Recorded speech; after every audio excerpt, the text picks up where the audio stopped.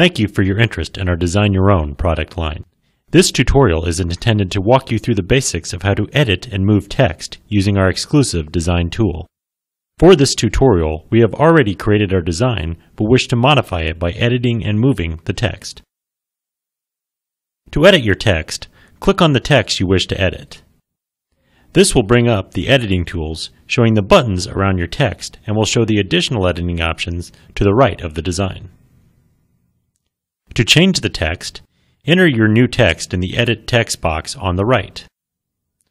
Type your desired text in the text box. You will see the text on your design change while you are typing.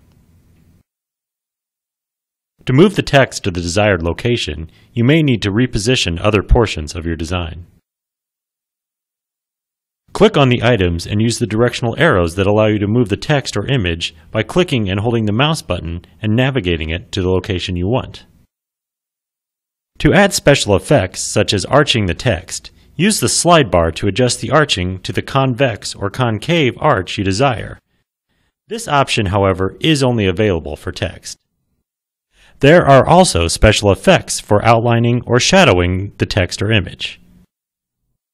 To change the orientation of the text or image, use the Order and Transform options to move the text image to the foreground or background for a layering effect. You also have the option of creating a mirror image horizontally or vertically for both your text and your image.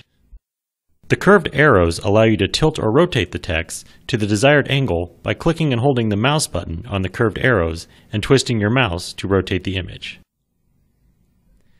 We hope this short tutorial has been informative and you enjoy creating the perfect item for your gift giving needs.